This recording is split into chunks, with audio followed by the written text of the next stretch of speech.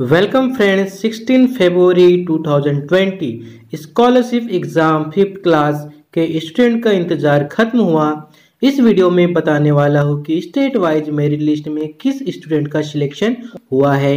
इस वीडियो को ध्यान से देखना है, जिससे आपको समझ में आएगा। 16 फरवरी 2020 में किन बच्चों का सिलेक्शन मेरिट लिस्ट में हुआ है। दो टाइप से मेरिट लिस्ट तैयार होती है, एक ग्रामीण विभाग के लिए और एक शहरी विभाग के लिए। दोनों लिस्ट के बारे में स्टेप बाय स्टेप हम लोग जानते हैं।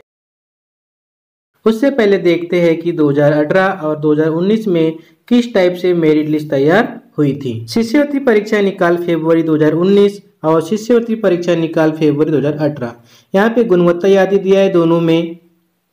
आगे बढ़ते हैं। राज्य स्तरीय मेरिट लिस्ट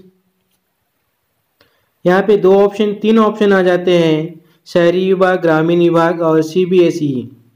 तो सबसे पहले हम लोग शहरी विभाग में मेरिट लिस्ट क्या होने वाली, वो देख लेते हैं। तो 18 फरवरी 2018 में 87.2483 परसेंट वाले बच्चों का मेरिट लिस्ट में सिलेक्शन हुआ था, जिनमें 112 बच्चे शामिल थे।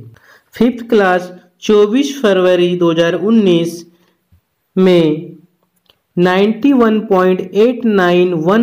91.8919 परसेंट वाले बच्चों का सिलेक्शन मेरिट लिस्ट में हुआ था, जिसमें 113 बच्चे शामिल थे शहरी विभाग में।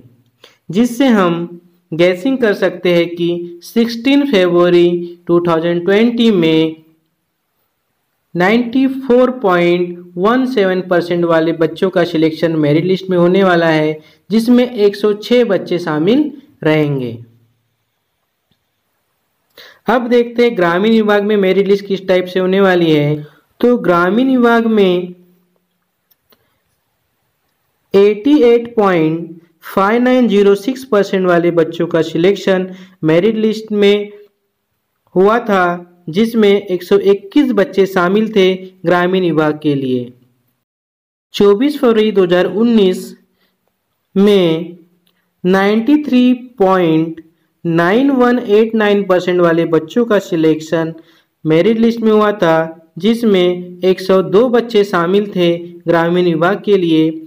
इस टाइप से हम एक गैसिंग कर सकते हैं कि 16 फरवरी 2020 में 92.25 परसेंट वाले बच्चों का सिलेक्शन मेरिट लिस्ट में होने वाला है, जिसमें 116 बच्चे यानी 116 बच्चों का सिलेक्शन होने वाला है। इस टाइप से 16 फरवरी 2020 की मैरिज लिस्ट होने वाली है। वीडियो अगर आपको अच्छा लगा हो तो वीडियो को लाइक कीजिए शेयर कीजिए एंड चैनल को आपने अभी तक सब्सक्राइब नहीं किया है तो चैनल को सब्सक्राइब